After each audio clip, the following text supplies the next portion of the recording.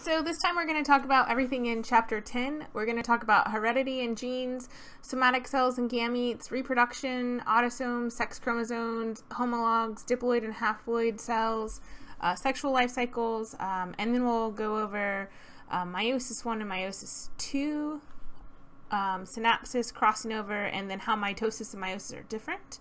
Then we'll talk about sources of um, variation and kind of how genetic variation and evolution go together, but we'll talk much more about evolution in uh, Unit 5. So if you remember in Unit 1, we said that, um, you know, a characteristic of life is reproduction. Um, so obviously living things have to be able to reproduce. Heredity is the transmission of traits from one generation to the next. And then Obviously, all organisms, even of the same species, are not the same. There's some variation there, so there's differences in appearance um, that offspring are going to show from their parents and also from their siblings. And then genes are the basic unit of heredity, and they're made up of segments of DNA. And each gene has a specific position or locus or lo loci um, on a certain chromosome. And then gametes can transmit genes from one generation to the next in plants and animals. So we've got sperm and egg for that.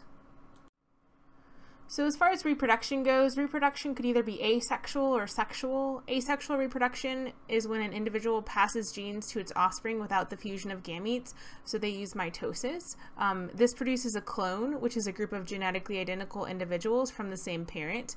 And then with sexual reproduction, that's when you have two parents that give rise to offspring that have unique combinations of genes that are inherited from those parents. This requires meiosis and this contributes to genetic variation. All right, so let's review. The first question says label the examples as either sexual or asexual reproduction. Um, and in the first example, we've got a unicellular organism splitting into two cells and then those two cells splitting into four cells. So in this case, that's going to be asexual reproduction. While some unicellular organisms can do sexual reproduction, um, this is just one cell going into two. Um, so this is asexual. In the next example, in the first question, we've got um, human reproduction. So there's a male and a female and sperm and egg and the sperm and egg fuse and make a zygote which grows up to an embryo which grows up to the baby which eventually will grow up um, from there and so this is going to be sexual reproduction the last example is kind of a tricky one. We've got a sweet potato plant and they're really not showing you what is happening with this sweet potato. Um, so with this plant, if you took the potato and put it in the ground, um, you would get another sweet potato plant. Um, but the potato isn't a seed, so you have to know a little bit about plant biology to know what's happening in this one. Um, but if you take like a cutting of a plant, you can, you know, depending on the species, you can put that cutting in water and get roots and get a whole new plant. Um, and it's a clone. So in this case, uh, the sweet potato is going to be asexual reproduction. It's not that plants can't do sexual reproduction, they absolutely can, but um, when we reproduce a plant with like a cutting or a fragment of the plant, um, that is asexual reproduction. Number two says, give an example of a human somatic cell. Is this haploid or diploid? Um, a human somatic cell is like your regular body cell, so like a liver cell or a skin cell or a bone cell or you know a photoreceptor in your eye those would all be somatic cells and in humans their body cells are going to be or our body cells rather right are going to be diploid Number three then says give an example of a human gamete, um, and it says is this cell haploid or diploid. So human gametes are sperm or egg, and they are going to be haploid. So there's different sexual life cycles. Um, a life cycle is just the generation to generation sequence of stages in the reproductive history of an organism. There's three big life cycles we'll talk about. Um, the diploid life cycle, which is what you're probably familiar with, um, then alternation of generations in plants and some algae, and then the haploid life cycle, which is in fungi and some protist. So life cycles, um, or sorry, sexual life cycles require fertilization, which is the fusion of gametes, and then mitosis, which produces identical cells for growth and repair. So mitosis can go from diploid to diploid, or it can go from haploid to haploid, but we're keeping the chromosome number the same there. Um, And then meiosis is going to half the chromosome number and produce genetically different cells. So that goes from diploid to haploid. It doesn't go from haploid to anything else because I don't know what that would be, like quadruploid or something. That doesn't exist. So it's going from diploid to haploid. Um, and meiosis is important because it maintains the chromosome number from one generation to the next generation. So if we look at the diploid life cycle, um, this is the animal life cycle for the most part. And um, in this, you've got fertilization, which is the uni union of those haploid gametes. So the sperm and egg get together and they produce a diploid zygote. Um, and then that zygote divides by mitosis and produces the different cells of that organism's body and that develops into an adult. And then there's germline tissue that's diploid. Um, so this is specific tissue, um, let's say in the ovaries and the testes, and that's going to produce haploid gametes by way of meiosis. So like I said, the diploid life cycle is probably something you're already familiar with because it's the life cycle that humans have. Um, so our somatic cells, again, are diploid and have 23 pairs of chromosomes. We have 22 pairs of autosomes and one pair of sex chromosomes, which are X and Y in humans. And then our gametes are sperm or egg, and they're haploid, um, and they have 23 chromosomes. So the egg um, always has an X chromosome, and then the sperm has either an X or a Y. Um, later on, we'll talk about things that can go um, a little bit differently in meiosis and how um, maybe you could have a different chromosome number there. But typically, um, a gamete should have 23 chromosomes um, and one of them is a sex chromosome. So plants have kind of a weird life cycle. I hate to call it weird, but it's very different than our life cycle. Um, they have two multicellular stages. Um, the diploid multicellular form is called the sporophyte, um, and then the haploid multicellular form is called the gametophyte. So the diploid sporophyte produces haploid spores. So to go from diploid to haploid, you have to do meiosis. So they do meiosis, and then that haploid spore grows up to become the multicellular haploid gametophyte, and that gametophyte produces haploid gametes. And to go from haploid to haploid, they use mitosis. So then there's fungi, and they've got another kind of unique life cycle. They've got haploid life cycle where um, they have like their majority of their body tissue is haploid, um, but they have a diploid zygote if they're doing sexual reproduction. So um, the zygote is the only diploid stage. There's no multicellular diploid stage. And then the zygote produces haploid cells by meiosis, and those haploid cells grow by mitosis into that haploid multicellular organism. And then the haploid adults produce gametes by mitosis since they're already haploid cells. So go ahead and um, maybe pause it and look at this and try and label the life cycles. So in the first picture, the purple picture, we've got multicellular haploid stage and a multicellular diploid stage. So that's going to be alternation of generations. In the second picture, the, I don't know, orangey, ready picture, um, we've got most of the organism is haploid, right? That's what the big N stands for, and only the zygote is diploid. So that's going to be haploid. And then in the other one, you've got um, most of the organism is diploid, except you've got a small part that's haploid. So that one's going to be haploid. So it goes alternation and generations, um, haploid, and then diploid.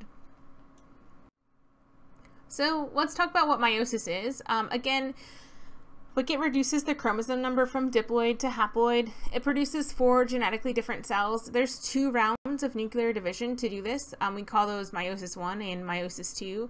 And it involves pairing of homologous chromosomes. Um, and remember, homologous chromosomes are chromosomes that carry genes that control the same inherited characteristics. Um, and each pair of homologs um, includes one chromosome that came from each parent originally. All right, so the first question is provide an example of homologous chromosomes from this karyotype. Um, so remember the karyotype is a picture of um, the chromosomes from an individual and the chromosomes are sorted out and paired up. So the homologous chromosomes would be like the two chromosome 1s or the two chromosome 2s or the two chromosome 15s. And then before meiosis can occur, the chromosomes have to be duplicated. What phase of the cell cycle does this happen in? So last unit we talked about mitosis and the eukaryotic cell cycle. Um, so when do the chromosomes replicate then? It wasn't actually in mitosis, it was in interphase. And then do you remember what phase of interphase? So it's S phase of interphase that the chromosomes replicate in. So they replicate in S phase of interphase before meiosis as well. So here's an overview of meiosis. Um, you've got meiosis 1 and meiosis 2. And then meiosis 1 includes prophase 1, metaphase 1, anaphase 1, and telophase 1, and cytokinesis. Does that seem familiar at all? Um, probably, right? So mitosis, you've got prophase, metaphase, anaphase, telophase, and cytokinesis. In meiosis, you have to make sure to put the Roman numerals so that indicates that it's actually meiosis and not mitosis. So then the second phase of meiosis includes prophase 2, metaphase 2, anaphase 2, telophase 2 or telophase 2, and cytokinesis. So we're going to walk through each of those coming up here. So if we start with prophase 1, um, just like in prophase of mitosis, the chromosomes condense, the nuclear envelope dissolves, um, but now we have synapsis of homologous chromosomes. Remember homologous chromosomes were like the two chromosome ones. So the chromosome ones are getting together and they align gene by gene and the zipper-like structure called the synaptonemal complex is going to form. Um, and then prophase 1 can also have an event called crossing over occur where non-sister chromatids exchange dna segments and they form this x-shaped um, chiasmata and that shows where crossing over has occurred. So you can see that in the picture over on the right there so crossing over produces recombinant chromosomes. If we look at the word recombinant, like recombined, so it recombines DNA. Um, so you get a combination of traits um, that neither original parent had. Um, and in humans, one to three crossover events occur per chromosome pair. And it's exciting. I always say things are exciting, but it's exciting because you get these new combinations um, of maternal and paternal alleles. So after prophase 1 comes metaphase 1. In metaphase 1, the homologous pairs line up at the metaphase plate, um, and they do so randomly. You can see below the different possible arrangements. Um, if you think of the red chromosomes indicating chromosomes that came from, let's say, the mother originally, and the blue ones came from the father originally, um, you can see the different combinations of um, chromosomes we can get. So this random assortment is called independent assortment. Um, and then microtubules are going to attach to the kinetochores of um, one of the chromosomes on either side of the tetrad. So um, eventually, after metaphase comes anaphase, and they're going to separate in anaphase 1. So in anaphase 1, um, pairs of homologous chromosomes are going to separate. So one chromosome is going to move towards each pole, and it's going to be guided by the spindle apparatus. And um, in anaphase of mitosis, the sister chromatids are separated, but in anaphase 1 of meiosis, the sister chromatids stay attached um, at the centromere and they move as a unit towards the pole. So in the beginning of telophase 1, each half of the cell has a haploid set of chromosomes. Um, this is a little bit tricky, but we pulled our homologs apart. So we still have um, the sister chromatids to make up each chromosome, but the cell is technically haploid at this point. I really wouldn't ask um, or you know the new cells that are going to be produced are going to be haploid. I really wouldn't ask a question on this because I think this is kind of easy to confuse because you've got the sister chromatids still attached. Um, so here's a picture of meiosis 1. Again, the kind of key point of meiosis 1 is that it's separating the homologous chromosomes, and this is when we technically would go from diploid to haploid.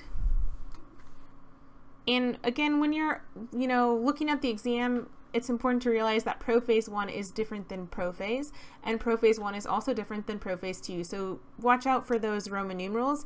They will catch you. So prophase 2 is a lot like um, prophase of mitosis, really. You've got the nuclear envelope dissolving, the spindle, spindle apparatus is going to form. Um, the chromosomes at this point are still composed of the two sister chromatids. They're going to move their way towards the metaphase plate. in metaphase 2, the sister chromatids are going to be arranged at the metaphase, metaphase plate, um, and the two sister chromatids of each chromosome are not going to be genetically identical anymore.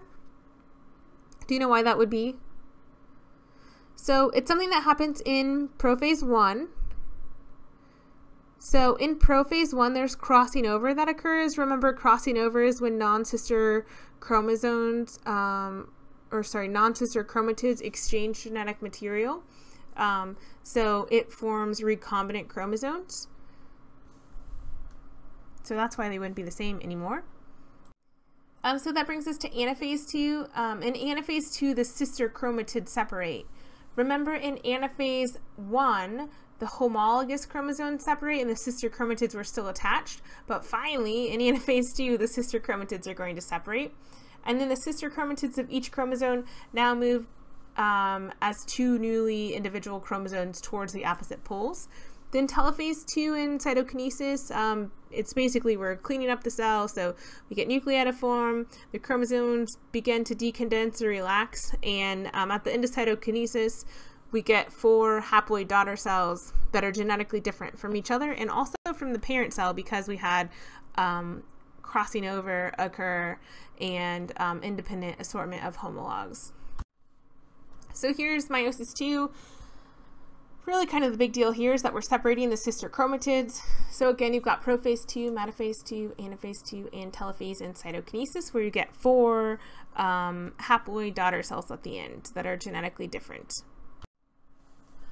So sometimes students get confused and they tell me that, you know, meiosis is just mitosis twice because it produces four cells or something like that. I'm not really sure.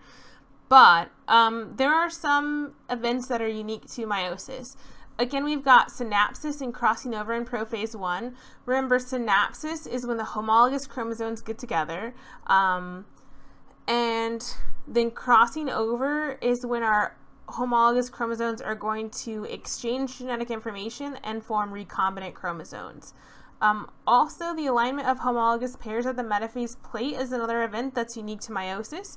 Um, the homologs are going to um, pair up randomly, like it's not just one side is where all the chromosomes that came from dad and the other side's where all the chromosomes that came from mom line up. They just can do that independent independently. Um, and then separating those homologs during anaphase 1 is another event that is unique to meiosis. So again, mitosis and meiosis are not the same thing. Meiosis is not just mitosis twice. Um, as far as DNA replication goes, both of them have DNA replication before they begin, during interphase and during S phase of interphase in particular. Um, mitosis has one round of nuclear divisions, um, prophase, metaphase, anaphase, telophase, and then meiosis has two rounds, prophase 1, metaphase 1, anaphase 1, telophase 1, and then the whole thing again. Um, in mitosis, synapsis of homologous chromosomes does not occur. However, it does occur in meiosis in prophase 1, and that's when crossing over can happen between non-sister chromatids.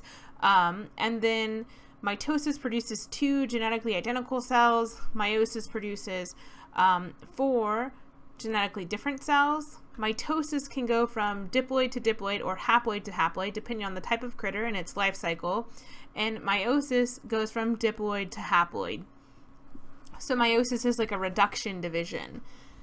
So as far as mitosis in an animal or plant body, um, it enables the multicellular animal or plant um, to arise from a single cell. It produces cells for growth, repair, um, and sometimes for asexual reproduction, depending on the kind of critter. And um, in organisms that have a haploid multicellular stage, um, haploid gametes can be produced from haploid cells. Meiosis in animals produces gametes um, or spores in the sporophyte plant generation, and it reduces the number of chromosome sets by half and introduces genetic variability among the gametes or spores. So meiosis is really important for sexual reproduction to, uh, to maintain the chromosome number from one generation to the next. So sexual reproduction produces genetic variation in a way or encourages genetic variation, but really a mutation is the ultimate source of genetic variation. So mutation is just a change in a DNA sequence. If we have different versions of a gene, we call those alleles. Um, and we'll talk more about that coming up in the next couple of chapters in this unit. Um, but during sexual reproduction, this shuffles existing mutations or existing alleles around. Um, this happens in independent assortment of chromosomes, which happens in um, metaphase one of meiosis one. Um, so as far as the possible combinations that can occur, um, mathematically, it would be 2 to the nth power. And for humans, um, since we have 23 pairs of chromosomes, um, Rn would be 23. So 2 to the 23rd power would be 8 million. 388,608 combinations. So that's a ton of combinations. Um, and that's just like the way your chromosomes could assort in producing either a single sperm or single egg. So that's a lot of variation. And that doesn't even take into account uh, cross crossing over. So crossing over creates recombinant chromosomes that we're not seeing in either parent. Um, and then we can have random fertilization, which is basically saying the collection of genes within a gamete doesn't give that gamete any better chance of fusing with another gamete to produce a zygote and not all species truly have random fertilization. Sometimes some sperm are more likely to fertilize the egg than others. Um, but that's a little bit more complicated than we're we're going to get into at this point. Um, but if you're interested, um, you can look up and find out about non-random fertilization. So evolution and genetic variation go together, evolution is just a change in a population's genetics, and we will talk about that more in Unit 5. So, if this little tiny bit on evolution and genetic variation doesn't solve everything or clarify everything, I promise we'll get to it later. Um, but a population changes through differential reproductive success of its members, or at least that's one way it can change. Um, so, if we look at this cheesy diagram over here to the right, um, we've got a selection of crows and beetles, and the crows have an easier time finding the green beetles, or they find them tastier, or whatever. And so over time, the green beetles are selected against, and the brown beetles are selected for. Um, so brown beetles are more likely to have offspring that are brown and offspring that would survive. So over time, we're going to have more brown beetles in this population of beetles. So um, that's an example of natural selection. So natural selection results in the accumulation of genetic variations that are favored by the particular environment or selected for by that particular environment. Um, so like I said, we'll talk more about evolution later, but it's important when we think about, you know, genetic variation and recombinant chromosomes and combining traits in different ways and kind of the whole point of sexual reproduction is to combine traits in different ways. So there's some costs and benefits to sexual reproduction.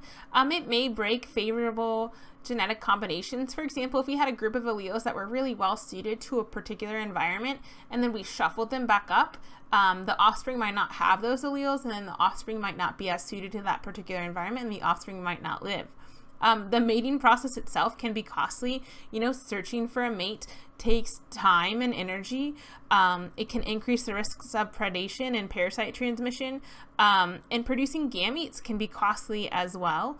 Um, and even just having males in a species um, can be costly as well. Um, and benefits of sexual reproduction um, is that we get these new combination of traits that allow a population to adapt to a changing environment. So the environment doesn't make the organisms adapt, but if we have a good mix of traits that match the environment at that time or are well suited to the environment at that time, then those organisms with that combination of traits are more likely to survive and reproduce in that particular environment. All right, so compare and contrast prophase, prophase 1, and prophase 2. Go ahead and pause it and think about your answer, and when you're ready, restart it. All right, so remember prophase is part of mitosis, and prophase 1 and prophase 2 are part of meiosis. Um, and then if we think about prophase of mitosis, at the start of prophase, um, the cell could either be diploid or haploid, depending on what kind of organism it is and what part of the life cycle it's in. Um, prophase 1 of meiosis always has to be diploid at the start, and prophase 2 of meiosis is going to be haploid at the start. Um, and then from there, prophase 1 has some unique things that don't happen in either prophase of mitosis or prophase 2. Um, in prophase one, the homologous chromosomes get together, so we call that synapsis of homologous chromosomes. And because those homologous chromosomes are together, we can have crossing over of non-sister chromatids occurring. Um, that does not happen in prophase of mitosis or prophase two. Um, so those are the big things I thought of. If you thought of something different and you're concerned about it, feel free to ask me. So that was chapter 10. We talked about meiosis and sexual life cycles. So we talked about heredity and genes, um, and somatic cells versus gametes. So somatic cells are body cells, gametes are like sex cells. Um, we talked about reproduction like super briefly. We talked about autosomes um, and sex chromosomes. So sex chromosomes are part of sex determining systems, um, and autosomes are just your kind of regular other chromosomes. So humans have 23 pairs of chromosomes, so 22 autosomes and one pair of sex chromosomes. Um, we talked about homologous chromosomes, so like your two chromosome ones, your two chromosome twos, so on and so forth. Um, diploid and haploid, so diploid is two sets of chromosomes, haploid is one set of chromosomes. We talked about the sexual life cycles, which are alternation of generations in plants, um, the diploid life cycle in most animals, and then haploid life cycle in uh, fungi and some protists. Then we went over the stages of meiosis, so um, prophase 1, metaphase 1, anaphase 1, telophase 1, um, and then prophase 2, metaphase 2, anaphase 2, um, telophase 2, cytokinesis. Um, we talked about some special events in meiosis, so synapsis of homologous chromosomes, crossing over of non-sister chromatids, um, and then we compared mitosis and meiosis. And then we talked about the sources of variation, so independent assortment of chromosomes in metaphase 1, um, recombinant chromosomes formed through crossing over, and then random fertilization, um, where any sperm could fertilize any egg of that particular species, or the chances of that. And then we talked about how genetic variation can contribute to evolution and kind of like why organisms would do sexual reproduction if it's so costly and so kind of involved. Um, so that is chapter 10.